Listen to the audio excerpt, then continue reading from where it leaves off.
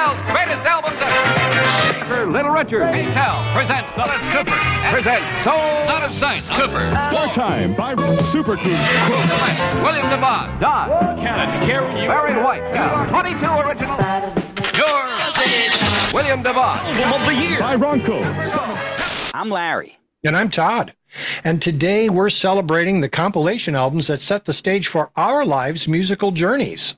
From K-Tel to Ronco to Warner Brothers products, these albums introduced us to a world of diverse music.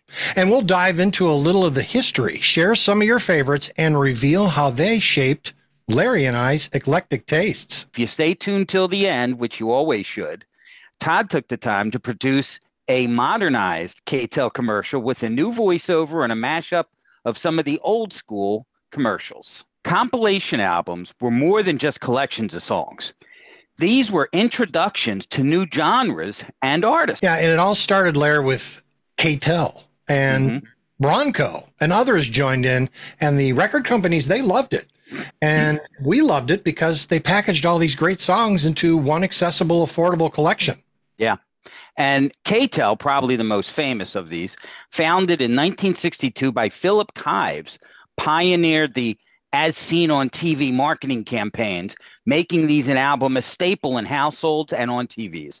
Kives, the K in K-Tel, started by selling kitchen gadgets and nonstick pans, which back then were deadly poison. And do you remember the warnings, Lair? Uh, if you overheated those pans, it would kill your household birds. Oh my God, the birds! I'm I'm I'm a little more worried about us. Can you believe between 1976 and 1981, K-Tel just alone sold more than 150 million of LPs in 34 countries? Yeah, you know, Lair, we both know they weren't necessarily good records. They were kind of cheaply made. Oh yeah, Um, songs faded out a little early. Uh, They would remove like entire verses, or, uh, or or worse yet, they would cut these tiny grooves, which, of course, means that they sounded really bad. You, you know you're in trouble when they you have the version of Freebird that's three minutes and 40 seconds long. That's not right. Exactly. But um, for for us, these albums were like a musical education. They exposed us to genres that we might never have explored if we didn't see these commercials. Yeah, that's right. Whether it was like rock or pop or soul, compilation albums like this one had yeah. something for everyone. Albums like heavy metal with songs like Dire Maker and Starship Trooper.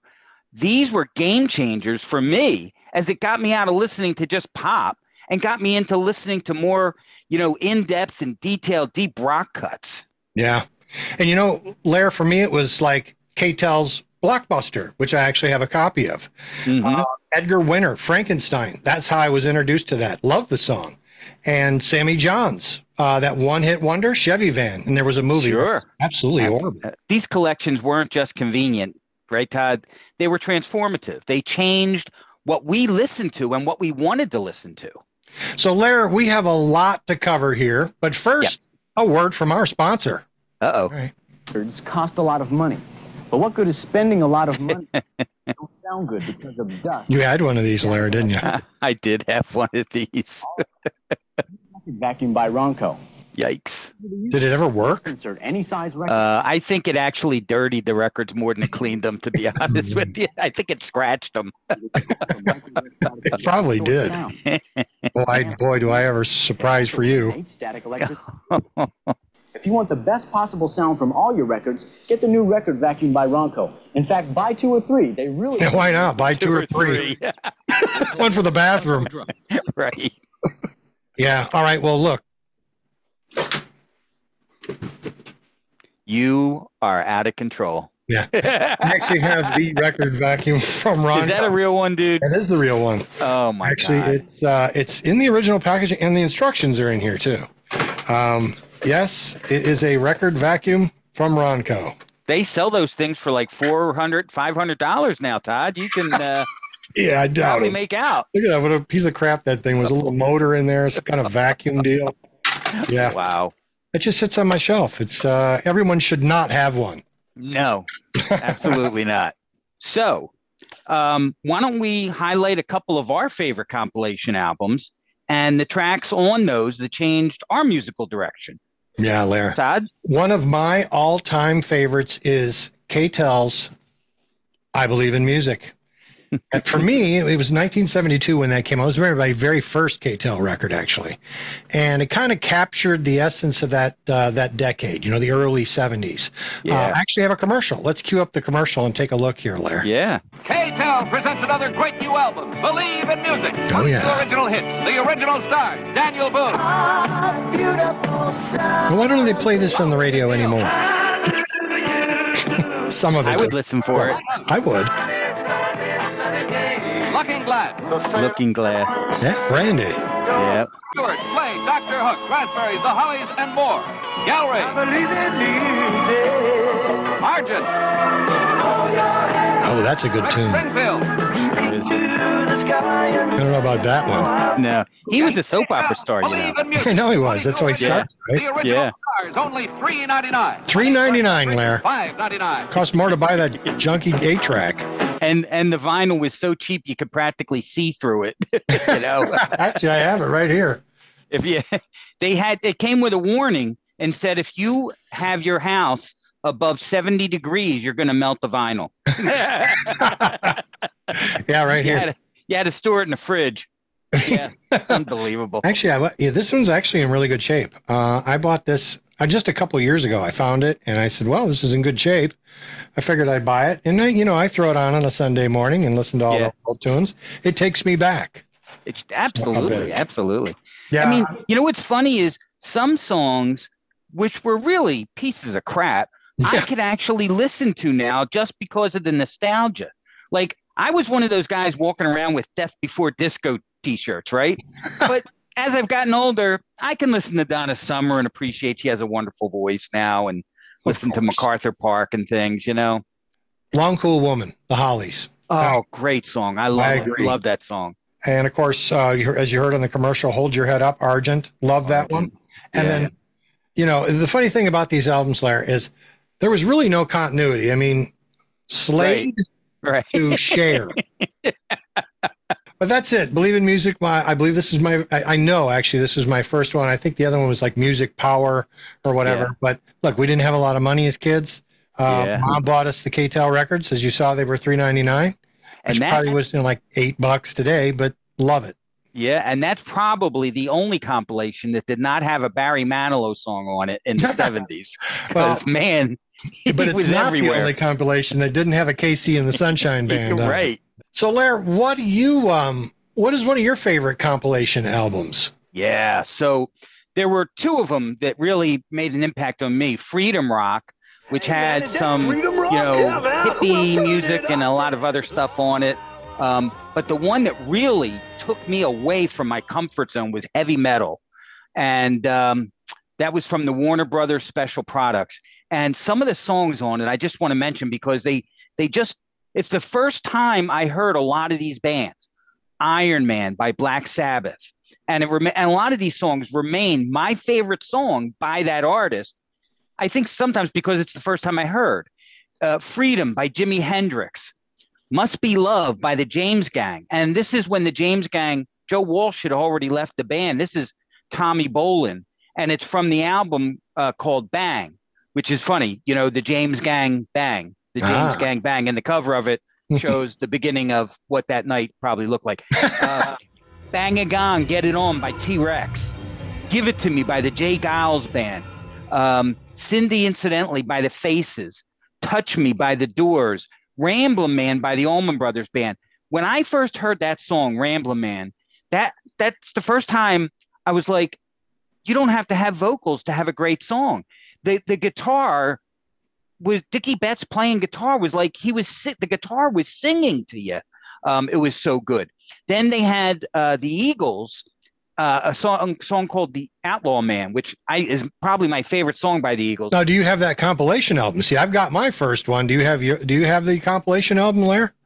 Well, no, but Oh. I did order it a few days ago. How So, about that? Just for nostalgia reasons, Todd. It's going to be in my collection within a few days. and Mhm. that album right there is probably wraps up. We could probably both sit down together and just listen to that whole thing and and really sure. enjoy it. Absolutely, for sure. I, I have no doubt. Um, listen, before we hear your modernized compilation commercial that you put together, yeah, why don't we wrap up with our segment? What are we listening to this week?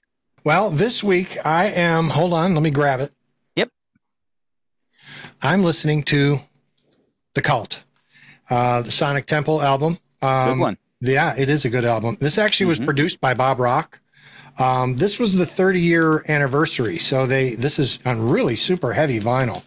I mean, it's double records, super heavy vinyl.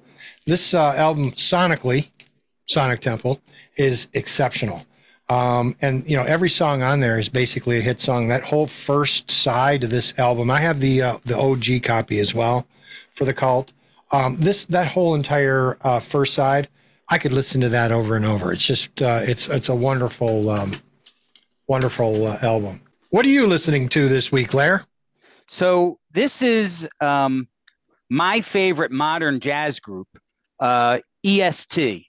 And I know I'm going to butcher the pronunciation, but the leader of this band, who unfortunately passed away in a scuba diving accident um, about 10 years ago, uh, his name is Ebs- Ebjorn Svensson, and he was the piano player and leader and the writer of the music.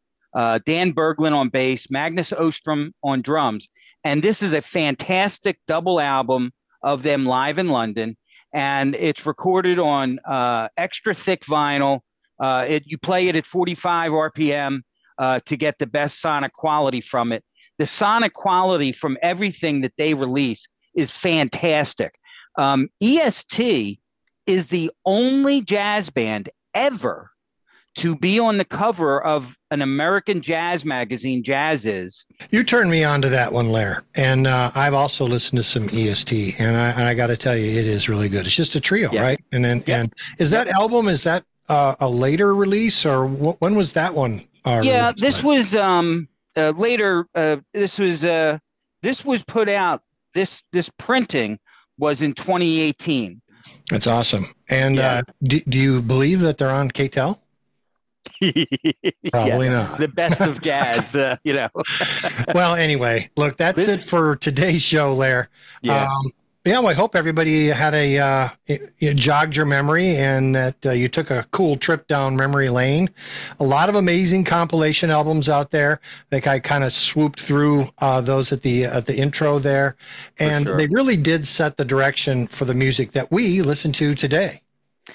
Listen, everybody, please don't forget to like us, subscribe to us, yeah. comment, and hit the bell icon so you never miss an episode that we do.